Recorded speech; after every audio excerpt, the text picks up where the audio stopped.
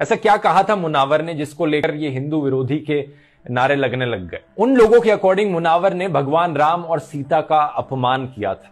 Exactly exactly क्या कहा था? आइए इस वीडियो में देखते हैं। तो मुझे ये बताओ इसका नाम भोला राम क्यों रखा? क्या है कि नाना जी का नाम राम था और ये होली के दिन पैदा हुआ तो उन्होंने इसका नाम भोला राम रख दिया। अच्छा हुआ जी लोहड़ी के दिन पैदा नहीं हुआ नहीं तो इसका नाम तो अरे एडिटर ये क्या वीडियो चला दिया? कहाँ कहाँ गुम है तुम्हारा दिमाग? क्या आम खाने में बिज़ी हो क्या?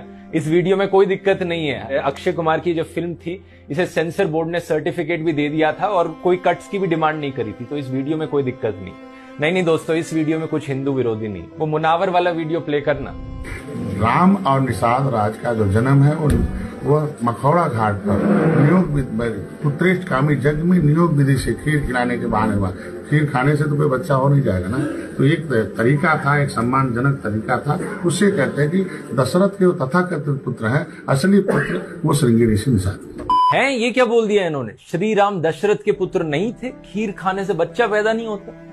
लेकिन एडिटर ये तो बीजेपी की एलआई के पार्टी वाला है। मैंने बताया ना कोई भी चीज़ हिंदू विरोधी नहीं हो सकती जब तक कोई बीजेपी का रिलेटेड इंसान बोल रहा है उस। ये एक बेसिक रूल है दोस्तों असल में। मेरा पिया घर आया ओ राम जी। लाइक अगर भगवान को रिस्पॉन्स करें, वो गाना कैसा है ना? लाइक मेरा पिया घर आया, और Ram ji Ram ji don't give fuck about your पिया मेरा पिया घर आया राम जी लाइक मैं चौदह साल से खुद घर नहीं गया। एंड अगर सीता ने सुन लिया, सीता ने सुन लिया तो वो तो डाउट करेगी। If your husband is why you're updating my husband bitch and Sita को तो माधुरी पे पहले से शक है। वो गाना है, तेरा करू गिन गिन तो उसको लगा वनवास गिन रही है कि साल। चौदह पे रुक गई मैं टीवी पे देख रहा था द बर्निंग ट्रेन तो डैड आए एंड डैड इज़ लाइक ये बकवास मत देखा कर, उन्होंने चैनल बंद कर दिया एंड आई लाइक क्यों ऐसा? इज़ लाइक ये गोधरा कांड का वीडियो है। न्यूज़ चैनल चल रहा है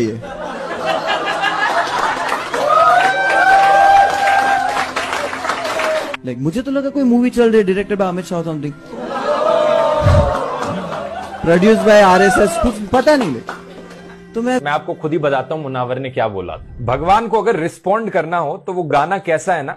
मेरा पिया घर आया ओ राम जी राम जी को तुम्हारे पिया से कोई मतलब नहीं है। वो कह रही है, मेरा पिया घर आया। राम जी ने कहा, मैं चौदह साल से खुद घर नहीं गया। और अगर सीता ने सुन लिया तो वो तो शक करेंगी कि तेरा पिया घर आया तो मेरे पति को क्यों बता रही है? उसको पहले से माधुरी पर शक है। तेरा करूँ गिन गिन के इंतज़ार। उसे लगा कि वो वनवास के साल गिन रही है। ये जोक सुनकर ऑडियंस हंस रही थी। ऑब्वियसली ऑडियंस में बहुत से हिंदू भी बैठे थे। कोई ऑफेंडेड फील नहीं करा। किसी को नहीं लगा कि ये इंसल्ट था भगवान राम या सीता के लिए। लेकिन इसके कुछ हफ्तों, महीनों बाद कोई एक इंसान खड़े होकर बोलता है कि मुनावर ने तो यहाँ पर अपमान कर दिया भगवान राम सीता का।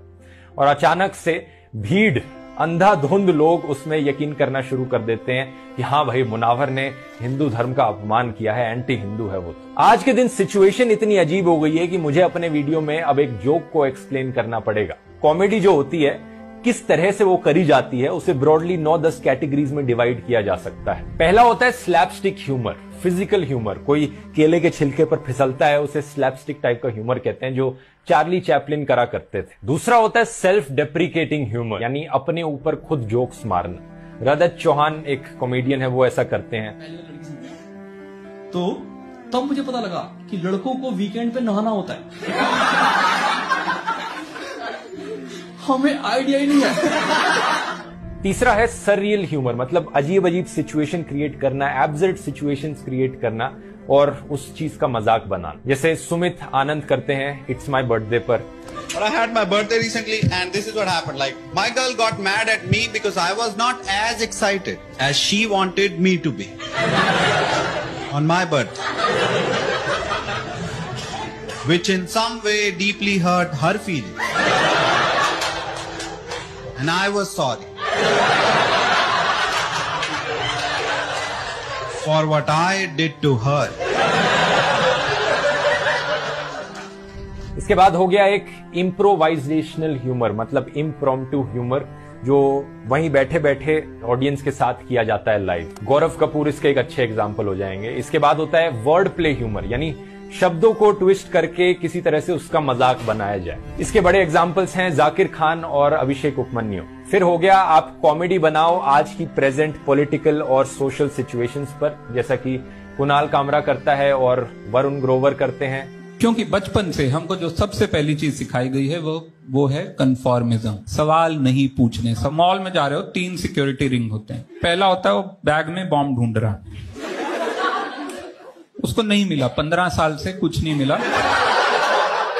लेकिन आप पूछ नहीं सकते उससे। फिर एक होता है सिचुएशनल ह्यूमर जो जो सिचुएशन चल रही है, उसके बेसिस पे जोक्स बने। जैसे कि हेरा फेरी फ़िल्म हो गई या फिर हेरा फेरी फ़िल्म हो गई। और फाइनली होता है डार्क ह्यूमर जहाँ पर रियल लाइफ ट्रेजिडीज का इस्तेमाल किया जाता है और उन पर जोक्स बनाए जाते हैं अक्सर। ये पुनीत पानी ने किया था मॉब लिंचिंग्स के ऊपर और मुनावर फारूकी ने किया था गोदरा राइट्स के ऊपर। मुनावर का ये जो कॉन्ट्रोवर्शियल जोक था, ये वर्ड प्ले की कैटेगरी में ज़्यादा फिट बैठता है। माधुरी दीक्षित का फ़ेमस गाना था मेरा पिया घर आया ओ राम जी। 1995 की फ़िल्म से ये गाना था और एक और इनका फ़ेमस गाना था एक, दो, तीन। पहले गाने में हीरोइन सेलिब्रेट कर रही है कि उनका पिया घर आया है और एक्साइटमेंट में वो ओ राम जी बोल रही है कि देखो, हे भगवान फाइनली मेरा पिया घर आ गया। और दूसरे गाने में वो महीने के दिन काउंट कर रही हैं जब तक उनका पिया घर आएगा। तो यहाँ पर क्योंकि ओ राम जी बोला इन्होंने तो मुनावर ने वर्ड प्ले का इस्तेमाल करके प्रिटेंड किया कि भगवान राम माधुरी दीक्षित का यहाँ पर मज़ाक बना रहे हैं। इन गानों के लिरिक्स का इस्तेमाल करके। सुन रहे हो ना आप?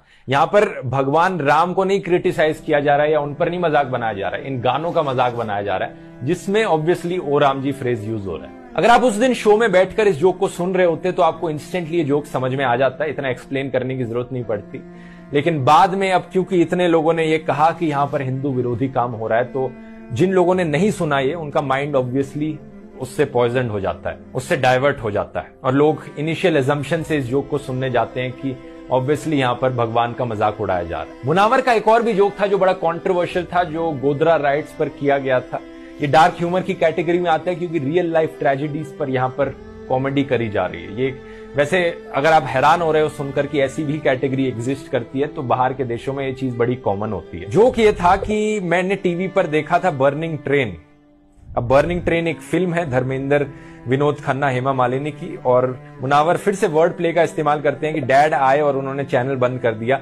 कहा कि ये बकवास मत देख, और मैंने कहा कि क्यों उन्होंने बताया कि ये गोदरा कांड का वीडियो है।